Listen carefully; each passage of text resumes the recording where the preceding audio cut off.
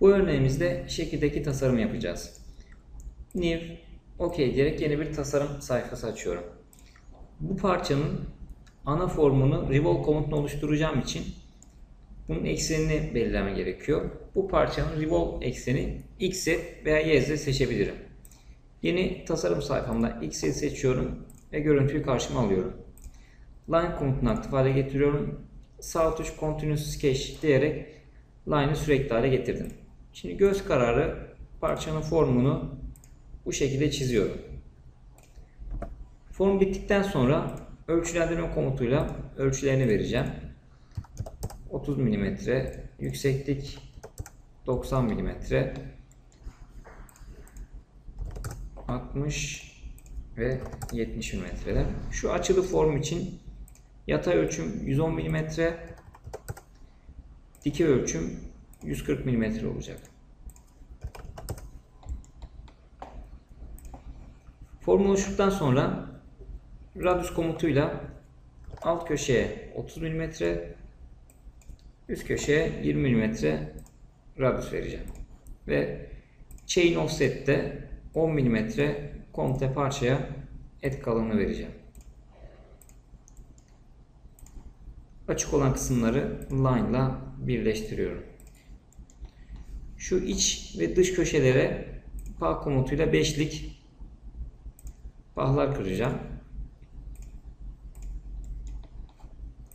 Dışarıya olan pah ise 3 boyut komutunu oluşturacağım. Şu an parçamın kesit görünüşü hazır. New Revolve komutuna geliyorum. Select Axis'te eksenim olarak şu kenarı seçiyorum. OK dediğimde o parçayı döndürerek istediğim formu oluşturacak. Şimdi etrafına delikler oluşturalım. Bunun için yüzeyimi seçiyorum. Point komutunu seçip parçaya karşıdan baktım. Merkezden bu şekilde yatayda 245 milim mesafede noktamı oluşturuyorum. Bu noktamdan alttan alacak. Yani çevrede alttan deliğim olacak. Bunun için rotate komutunda noktamı seçiyorum. 60 derece ve 5 tane ekle diyorum. Merkez olarak da tam merkez noktasını seçtim. Preview ile ön görünüşte doğru okumadım kontrol ediyorum. OK ile noktaları oluşturuyorum. Şimdi o delik komutumla noktaların deliklerini oluşturacağım. Oluşacağım countersink havşa başlı dış çap 20 derinlik 5 90 derece açı ve iç çap 10 milim bu troll'la boydan boya patlatıyorum. OK dediğimde deliklerim otomatik olarak oluşmuş olacak. Şimdi yan yüzeyde bir el istomunda kesit almam gerekiyor. Bunun için bu yüzeye paralel bir plane yani düzlem oluşturmam gerekecek.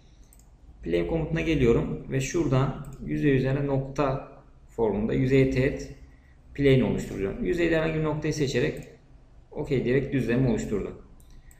Düzlem basıyorum. Elips komutunu alıyorum ve karşıdan bakıyorum. Büyük genişlik 10, kısa genişlik 50 milim olacak şekilde ve merkez noktası göz kararı yerleştiriyorum. OK diyerek elipsini oluşturdum.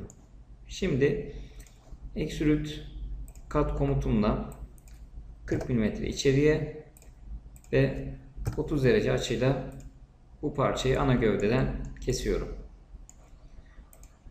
Görünüşlerden tap düzene bakarak üstten görünüş alıyorum. Bu parçadan, bu kesitten 3 tane daha kopyalamam gerekiyor. Bunun için kullanacağım komutum Circular Array. Komuta basıyorum. Prosedür olarak kesme komutunu seçiyorum. 90 derece ve 4 tane. Merkez olarak da dış yüzeyi seçiyorum. OK diyerek bu kesme işlemi çoğalttım. Son olarak da köşeye fal kıracağım. Bunun için fal komutuna geliyorum. 2 milim 45 derece köşeye fal oluşturarak resmimi tamamlıyorum.